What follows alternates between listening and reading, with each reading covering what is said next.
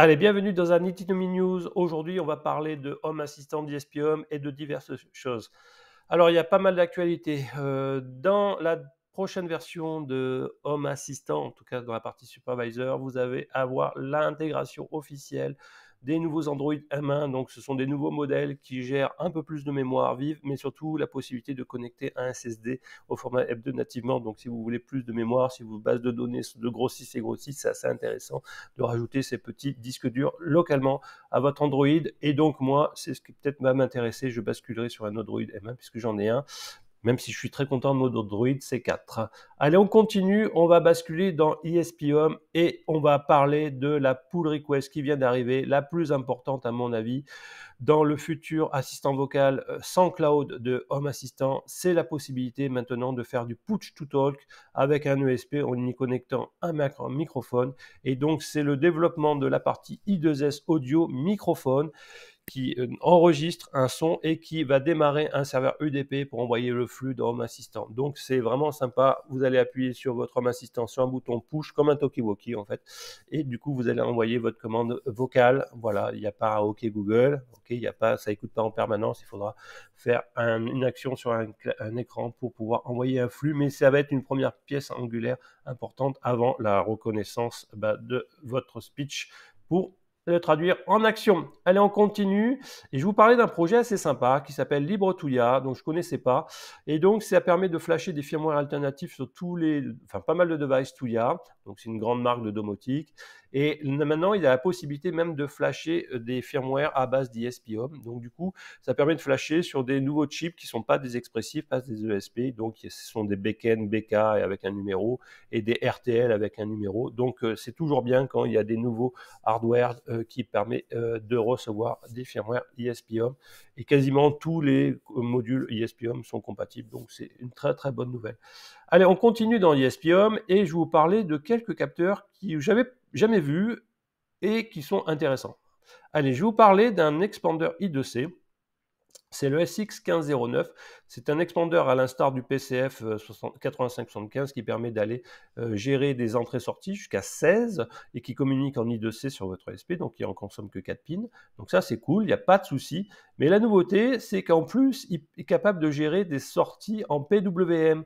Donc ça, c'est pas mal, par exemple, pour aller grader un moteur, faire tourner quelque chose en fonction ben, d'une impulsion PWM que vous envoyez. Donc ça, c'est une très bonne chose. Autre module qui est assez intéressant, c'est le TCA 9548. C'est un expander de bus I2C. Donc vous attaquez, vous connectez sur un des deux bus I2C de votre ESP. Et là, vous pouvez en avoir 8 virtuels. Et donc, par exemple, sur chacun de ces bus, vous pouvez lui adresser eh ben, euh, un, capteur I2C. Donc c'est pas mal quand euh, il y en a qui ont du mal à cohabiter ensemble. Je pense au VEML 6075 euh, qui est un peu capricieux à ce niveau-là. Dernier capteur qui est une nouveauté par contre, c'est le FS3000. C'est un capteur qui permet de mesurer le débit d'air d'une colonne d'air, par exemple d'une VMC, d'une insufflation, et pourquoi pas d'un chauffage solaire type le brûlant. Salut Gérald si tu regardes ma vidéo. Allez, on change des capteurs. On va aller basculer sur un site euh, qui permet de mesurer et de contrôler le taux de radioactivité. Alors, vous savez qu'on a sorti avec Bandit euh, la station VTO, la, PCB, et notamment vous avez la possibilité de brancher un compteur GGR. Et bien cette carte, ça permet d'aller euh, rajouter votre point de mesure et d'aller exporter, importer vos données. Alors j'essaie de m'enregistrer, j'ai toujours pas reçu le mail d'activation, mais j'espère que ça ira.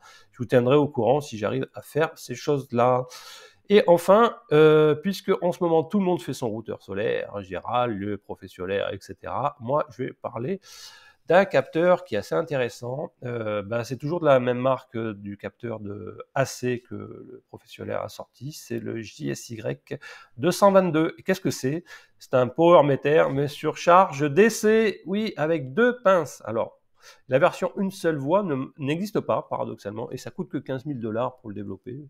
Si vous avez un eurodonateur, hein, pourquoi pas. Mais bon, du coup, bah, vous en aurez deux. Et il coûte une quarantaine d'euros quand même. Et euh, du coup, lui, il permet de mesurer les flux d'entrée dans les deux sens d'un courant de batterie et de communiquer en mode bus. C'est génial. Donc vous avez compris qu'une partie du boulot bah, de mesure d'entrée-sortie du courant, par exemple qu'un routeur solaire off-grid devrait faire, bah, serait fait par ce boulot.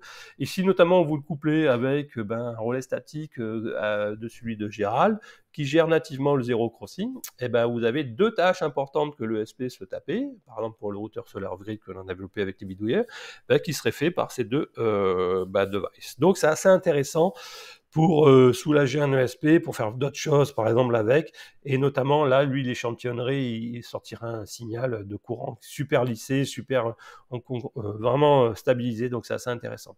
Voilà, j'espère que cette petite News vous a intéressé, et puis je vous dis à très bientôt.